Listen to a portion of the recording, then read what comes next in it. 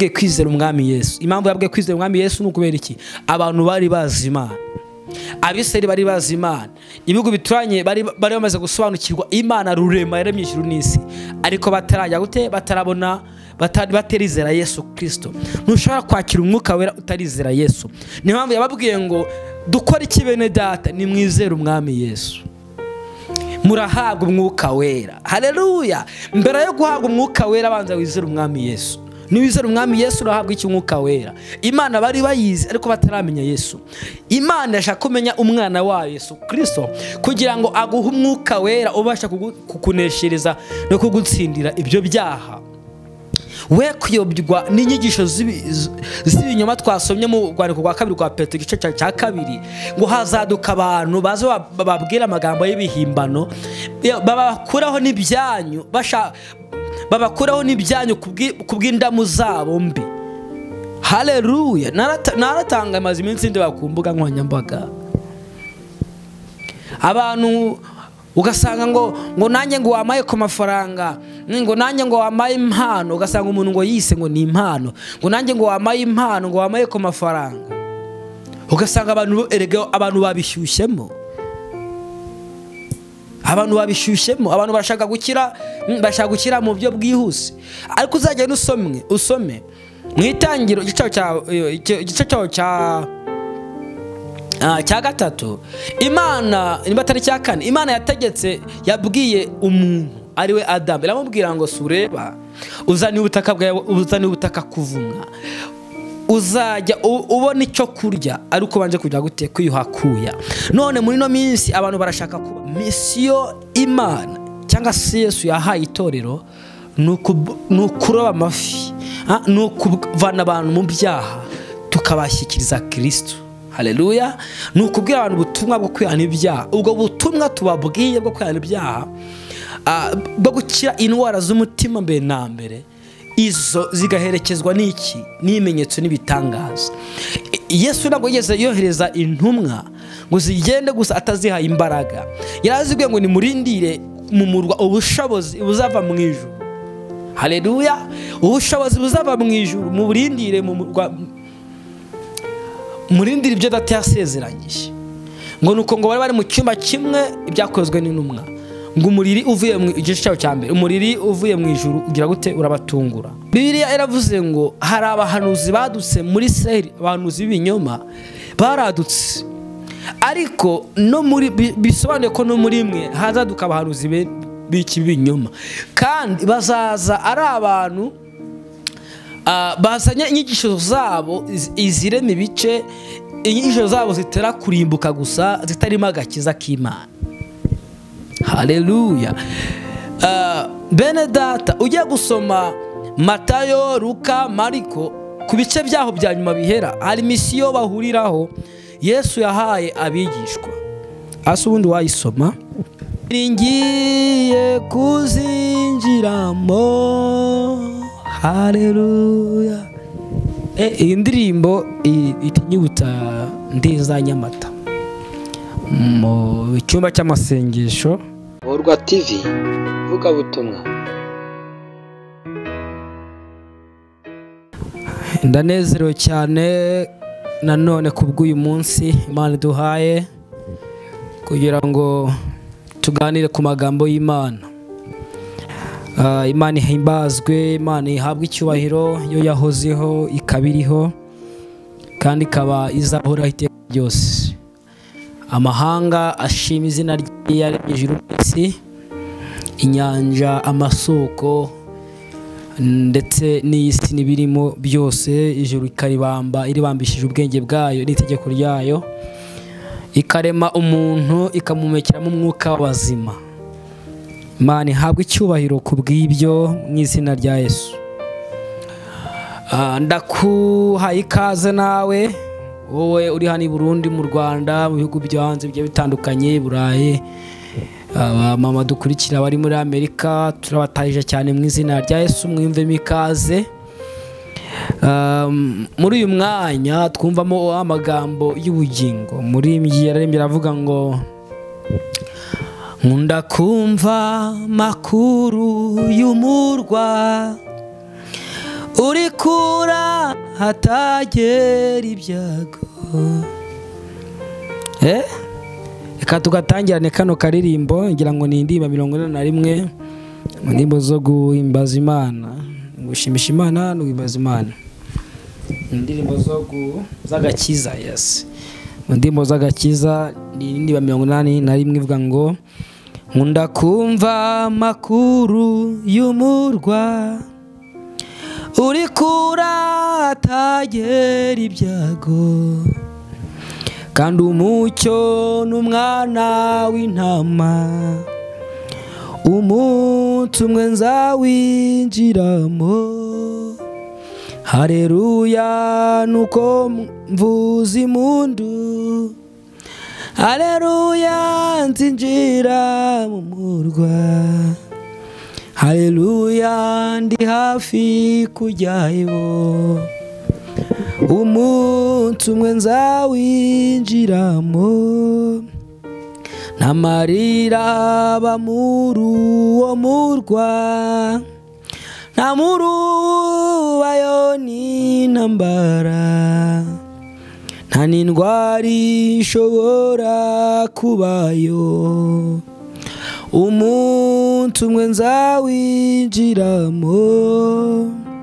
Hareruya nuzuye ibyishimo. Hareruya nzinjira mu murwa. Hareruya ndi hafi kujyayo. Umunsi umwe nzawinjiramo. Hareruya nuzuye ibyishimo hareruya nzinjira mu murwa. Hareruya ndi hafi kujyayo. Umunsi umwe umunsi umwe nzawinjiramo. Abazajya muri icyo gihugu bazaba bambaye imyenda yera. Babikiwe ikamba ry'izahabu umunsi umwe nzawinjiramo. Hareruya nagushidikanya. Mu ijuru hari umunezero. Nta mubabaro uzaba mu ijuru niringiye kuzagerayo. Aleluya nagushidikanya. Mu ijuru hari umunezero. Nta uba mu ijuru niringiye kuzinjiramo. Haleluya iyi ndirimbo itinyibutsa ndiza nyamata. Mu cyumba cy'amasengesho ni ho ihita inyibutsa. Sinzi wowe aho iyi ndirimbo ikwibutsa. Ahantu ukunda kuyumva cyane cyangwa se wayumvishe bwa mbere wenda mpita nibuka ibice bya nyamata. Umuririmbyi yaririmbye aravuga ngo nkunda kumva amakuru y'umurwa. Uri kure ahatagera iki? Indwara n'ibyago. Ati nta marira azaba mu ijoro niringiye ko nzagera gute? Nzagerayo.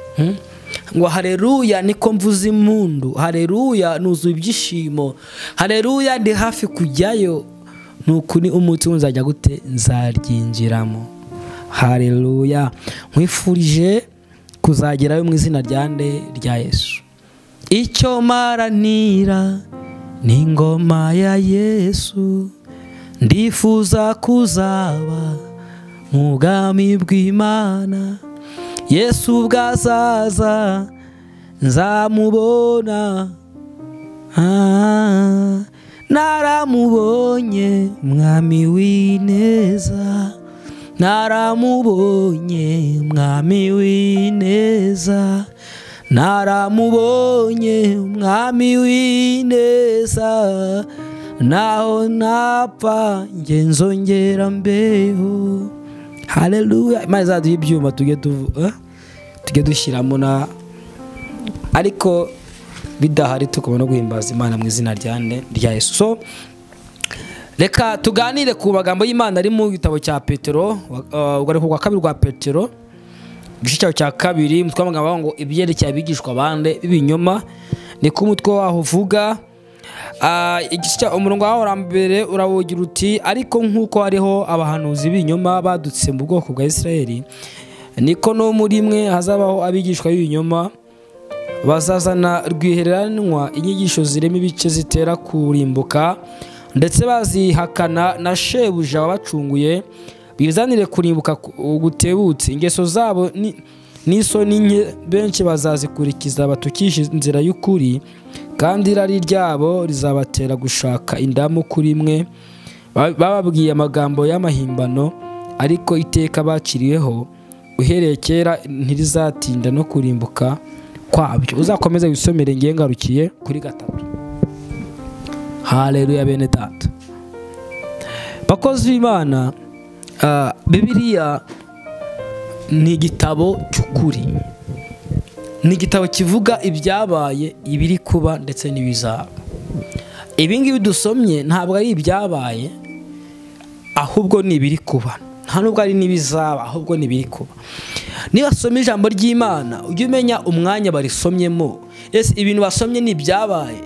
Ni ibirimo biraba cyangwa ni ibizaba igitabo cya cya kabiri cya petero igice cyaho cya kabiri n'ubundi murongo wa- waho wa mbere. Ah, bibiliya iravuze ngo hari abahanuzi badutse muri israheli abahanuzi b'ibinyoma baradutse. Ariko no muri bi- bisobanuye ko no muri mwe hazaduka abahanuzi be- b'iki binyoma.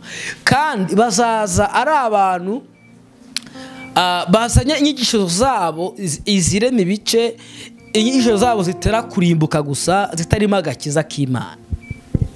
Haleluya Ah, bene data ujya gusoma matayo luka mariko ku bice byaho bya nyuma bihera hari misiyo bahuriraho yesu yahaye abigishwa.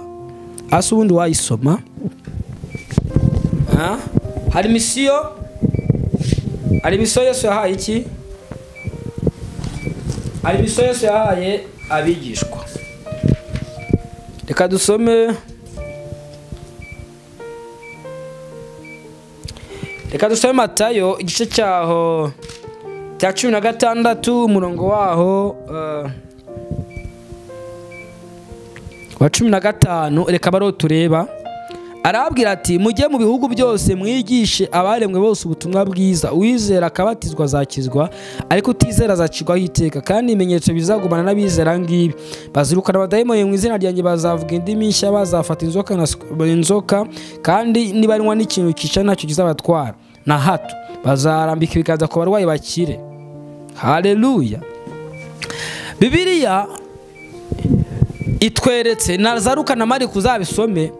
Yesu misiyo yahaye intumwa ni izi ngizi yarabwiye ngo nimugende mubwire abantu ko ubwami bw'imana buri hafi. Nusoma n'amatayo ngira ngo ibice icumi umurongo wa munani hafi aho. Mugende mubwire abantu ko ubwami bw'imana bwiza gute buri hafi. Bishatse kuvuga mugende mubabwire abantu amagambo y'ubugingo yo kurokora ubuzima bwabo bakava mu byaha. Mugende mubabwire mubigishe kwihana ibyaha no kuba iki ibyaha. Muri ngewe muri kiritso yesu. Kandi mubigishe kwitondera ibyo nasize mbabwiye byose. Ibyo mwabonye ndi gukora ibyo nagiye mbabwira by'urukundo ni iki? Mugere mubwire abantu babyitondere. Haleluya kandi umuntu uzizera ibintu muzamubwira byo kwihana ibyaha uzizera uwo muntu azakizwa. Kandi muzamubatize mu izina ry'imana data n'umwana w'iki? N'umwuka wera ariko mumwigishe kwitondera ibyo nasize mbabwiye byose.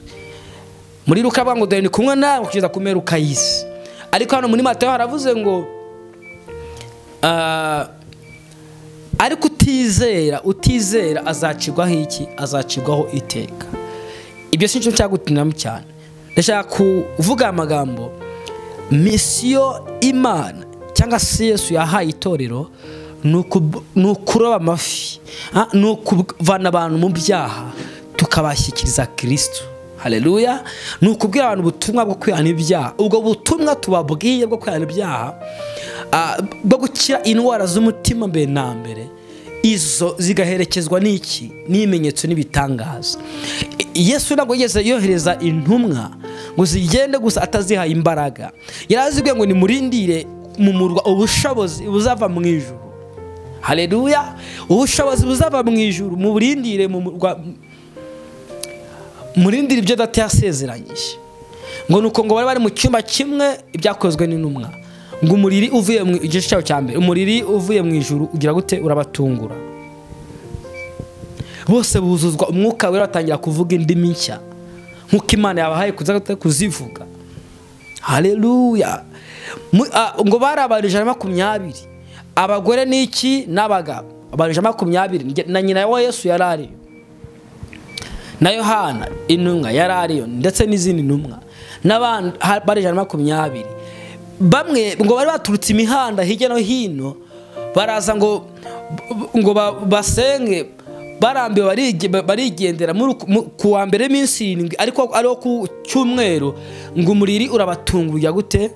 Ubu urabafashe. Buzura umwuka wera. Uwo munsi ni bwo iteraniro rya mbere ryabaye rya- iteraniro rya mbere ryabaye hari ku cyumweru. Buzura umwuka wera batangira kuvuga iki? Indimi nshya ngo habaho kubwiriza abantu abantu babwiye babaza ba petero ngo dukore iki? Arababwira ngo nimwe- nimwizere umwami yesu. Nimwizere umwami yesu. Ahari mu- murahabwa namwe kuri iki? Mureke mwahabwa kuri iki kuri izi mana yabwiye kwizera umwami yesu. Impamvu yabwiye kwizera umwami yesu ni ukubera iki? Abantu bari bazi imana. Abiseri bari bazi imana. Ibihugu bituranye bari bamaze gusobanukirwa imana rurema yaremye ijuru n'isi. Ariko batarajya gute? Batarabona batarizera yesu kirisito ntushobora kwakira umwuka wera utarizera yesu. Niyo mpamvu yababwiye ngo dukore iki bene data? Nimwizere umwami yesu. Murahabwa umwuka wera. Hareruya mbere yo guhabwa umwuka wera abanza wizere umwami yesu. Niwizera umwami yesu urahabwa iki umwuka wera? Imana bari bayizi ariko bataramenya yesu. Imana yashaka kumenya umwana wayo yesu kirisito kugira ngo aguhe umwuka wera ubasha kukuneshereza no kugutsindira ibyo byaha. We kuyobywa n'inyigisho z'ibinyoma twasomye mu rwandiko rwa kabiri rwa petero igice cya- kabiri ngo hazaduka abantu baza ba- bababwira amagambo y'ibihimbano babakuraho n'ibyanyu babakuraho n'ibyanyu kubwi- kubw'indamu zabo mbi. Hareruya naratanga amaze iminsi ndeba ku mbuga nkoranyambaga. Abantu ugasanga ngo ngo nanjye ngo wamaye ku mafaranga ngo nanjye ngo wamaye impano ugasanga umuntu ngo yise ngo ni impano ngo nanjye ngo wamaye impano ngo wamaye ku mafaranga. Ugasanga abantu abantu babishyushyemo abantu babishyushyemo abantu bashaka gukira mm, bashaka gukira mu buryo bwihuse. Ariko uzagenda usomwe usome. Mu itangiro igice cyawo cya Ah, cya gatatu imana niba atari cya kane imana yategetse yabwiye umuntu ari we adamu iramubwira ngo sureba uzaniye ubutaka bwawe uzaniye ubutaka kuvumwa. Uzajya ubona icyo kurya. Ariko ubanje kujya gute? Kwiyuhakuya none muri ino minsi abantu barashaka kubaho mu buryo eh? mu buryo buri sirenge abantu bigize ama- bigize ama- ama- amasire ya- utamenya barashaka ngo babaturire amafaranga barashaka kurya iby'ubuntu gusa barashaka kwiba barashaka kwesikoroka barashaka kuzana inda zabo nini mu ivugabutumwa. Ariko biriya bahano yabavuze ngo bazaza aho muri bakureho utwanyu bazanye ama- amagambo y'amahimbano bigize abanyabwenge. Ariko ngo iteka baciriweho ntabwo rizatinda. Ukomeje hirya haravuga ngo nk'uko imana itagize imana itababariye abamarayika baciriweho iteka. Nk'uko itababariye isodoma n'igomora ngo nako itazabarira ab'iki gihe. Yesu yaravuze ngo ngo abantu b'iki gihe batazizera ubutumwa bwiza bo bazahanwa igihano cyakwihanganirwa icyahanwe hehe isodoma n'igomora kuko bari abantu baza ku- wa- kubwirwa ubutumwa bwiza ngo hari babariye gute? Babariye. Gututubikana ko mu maso yawe niko kuzaguhesha umutima my friend. Wikumva ko uzaba ari uko bagutuburiye amafaranga wikumva ko uzabaho uko kuzabaho. Ariko umuntu arakubwira ngo cira inshuro eshatu uka- ukacira umuntu arakwereka ko ibyo ari gukora ari imirimo ya satani. Biravuga ngo eh, muri yohana ngo icyatumye yesu kirisito yerekanwa ngo ni ukugira ngo amareho imirimo yandi ya satani. Iyi mirimo ya sa- ya satani ni iyihe? Niyo ngiyo yose mwigwa mureba. Iyo ntabwo ari imirimo y'imana. Iyo ntabwo ari bibiliya. Kandi yaryo satani yigira nka marayika w'umucyo. Akakubwira amagambo y'amahimbano kugira ngo akunde agira gute? Agufate. Iyo ugiye gufata imbaragasa ucira ku rutoki kugira ngo ubashe ku- kuyifata. Gufata imbaragasa utaciye ku rutoki biragoye. Hari igihe bantu baza bakakubwira amagambo meza asheshyenga kumbe barimo baracira ku rutoki kugira ngo bajye gute? Babashe kugufata. Haleluya. Iyo ihene irenze impinga yita nyir'ibihogo. Yita nyir'ibihogo. Buri ugiye muri karitsiye ya- yabariye abantu ugiye muri karitsiye yabari abantu twasomye wasanga baraciye ibintu Hmm? wasanga baraciye ibintu. Wasanga hari ukundi kuntu abantu bafata. Uzaza muri karitsiye yanjye. Uzaza aho ntuye. Haleluya. Iyo ushaka kureba umuntu ujya muri karitsiye ahantu atuye. Ko hari abantu kuri social media mu- umuntu w'imana yiriririri haleluya. Yihe nirenze impinga yita nyir'ibihogo hari igihe baza biyise abantu ba- bise ba nyir'ibihogo bise abantu beza ariko nyamara haleluya nyamara ari iki? Ari aba bantu b'ibinyoma bo mu minsi ya nyuma. Petero ageze gute? Petero ya hano haleluya. Haleluya haleluya. Mureke twizere yesu kugira ngo duhabwe umwuka w'ubwenge n'impano y'umwuka wera. Haleluya hari indi ivuga ngo eh, ndayibagiwe ni indi ivuga ngo ngo mu mwuka w'ubwenge no guhishurirwa ngo ndusheho kukumenya Hmm? ngo mu mwuka w'ubwenge no guhishurirwa ndusheho kukumenya ngo mwami ngumva icyo ngusaba ndagusaba umwuka w'ubwenge no guhishurirwa ndusheho kukumenya. Abantu ntabwo bazi yesu abantu ntabwo bazi imana abantu ntabwo bazi umwuka wera ntabwo abantu baramenya yesu. Niyo mpamvu usanga abantu babivanga niyo mpamvu usanga abantu birirwa baririmba yesu mu magambo gusa niyo mpamvu usanga abantu birirwa baririmba imana mu magambo gusa. Hareruya ariko uzamenya ko nta muntu ah, uzamenya ko icyo ukwiye kumenya imana ari uko wageze muri muri situwasiyo itari nziza. Uzamenya ko nta muntu ukwitayeho ariko wageze muri situwasiyo mbi. Nibwo uzamenya ko nta muntu ukwitayeho. Aho uzaba uri kumwe n'imana iyo nyirayo yabasha kujya kukumva. Nuba utari koroza n'imana nuba utari koroza na yesu biragoye kugira ngo n'abantu uzabe konegitidi hamwe nabo. Hareruya iyo turi iyo dufitanye ubusabane n'imana imana idutuma abantu bayo. Kuko ibiri mu isi n'ibyuzuye byose ni iby'imana. Kuko abantu ni abiki ni ab'imana iyo dufitanye ubusabane n'imana iyo umwuka imana ntacyo idushinza hareruya ntabwo imana yakwemera ku mwana wayo apapana apapana kubera imbaraga z'ikizima. Nari mubabwira ngo misiyo twahawe niyo kubwira abantu ngo bave mu busambanyi bave mu bujura bave mu bwesikoro bave mu uh, bumaji. Mu myuka y'ubumaji bave mu bupfumu bave mu nzangano bave mu ishyari bave mu businzi no kunywa inzoga biravuga ngo twirinde ibisindisha haleluya bave mu businzi bave muri ibyo bintu byose. By'ubucikarafuti mu biyobyabwenge itabi byose. Niyo mirimo ya satani.